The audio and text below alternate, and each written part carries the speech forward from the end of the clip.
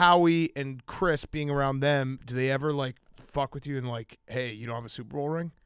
I mean, it, it has come up, I guess. Because I would, I, if I were one of them, I would do that to you all Dad, the time. Dad, I mean, Dad does it all the time. I That guess sucks. you know, uh, subconsciously he does it without even doing it. I'm thinking that he's doing it in his mind, and it works, right? Like you just think about him holding his hand like this with a ring over it, and or he'll just look at you and be like, not Super Bowl material. Yeah, not Super Bowl material.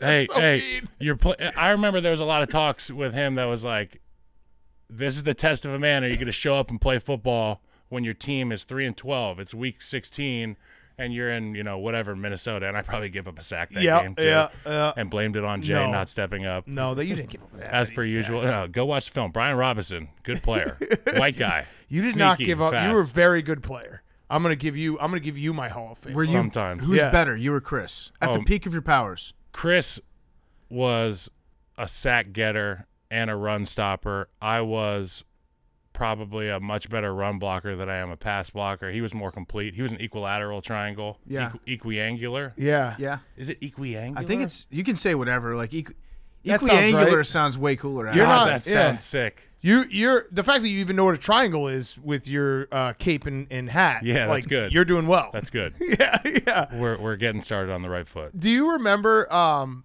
I I remember so vividly. We went to a Blackhawks game. It was your rookie year, Yes. and it was like you were like, "This is awesome!" Like everyone was like, "Kyle, Kyle, Kyle, fucking, you're the man."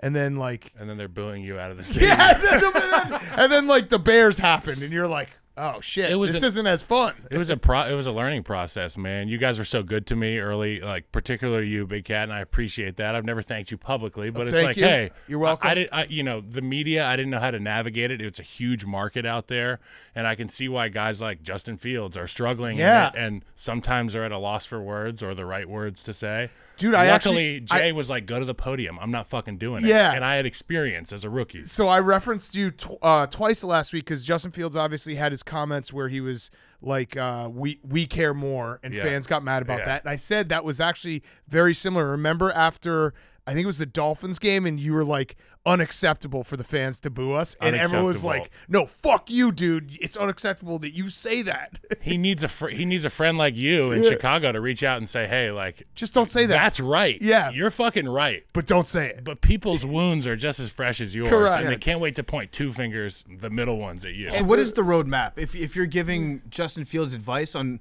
on how to handle the media, because we've talked about it a little bit, and I think I've come to the conclusion that there's a lot of stuff that you just have to lie about all the time. Like if you're, especially if you're a quarterback, you can't be honest. There's no way that you can be completely honest Right. and have people happy with you because, of course, you don't give a shit about every single fan in attendance. You care more about the people that you go to work with every day, that you practice with. I think everybody would feel that way. It's not to say that you don't care about the fans, but you probably care more about the guy that you spend, you know, 80 hours a week next to fighting with. You just can't say it. So what would you what would your advice be? Like what are some things not to say or some things that you found that you can just like pull out of your ass at any time and just like throw that out. Here's some red meat. There you go. Pretty basically, I would say be yourself, but always keep in mind how the message is going to be received. Mm-hmm. So there's there's two parties to the phone call that you're making. You know, you're going to say something, and then somebody's going to be on the receiving end, and how are they going to receive it? Be yourself. The emotion is going to be there. People don't need a calculator to figure out how you feel about it, but the way you put it can set you up to have 20, 30, 40, 50 years of success in that city.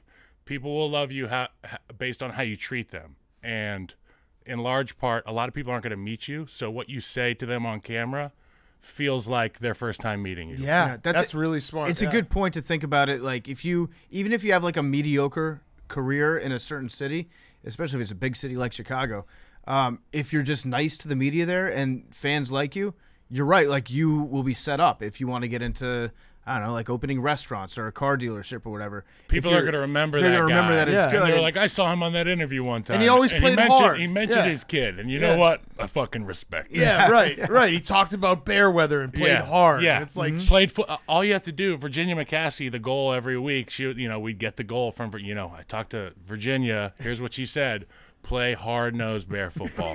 That's all they fucking care about. We should play that up. hard and beat the shit out of people, and then beat the Packers. Yeah. That's like that's rule number one. yeah, but and that two. doesn't. So maybe w- like has she thought about like like let's let it fly or something. I don't you know, know. like throw it Play downfield. technically sound football. Yeah. Or maybe this just week. reversing one and two, beat the Packers one, and then I like Yeah. that. beat them up too. Or Yeah. just take it off the list.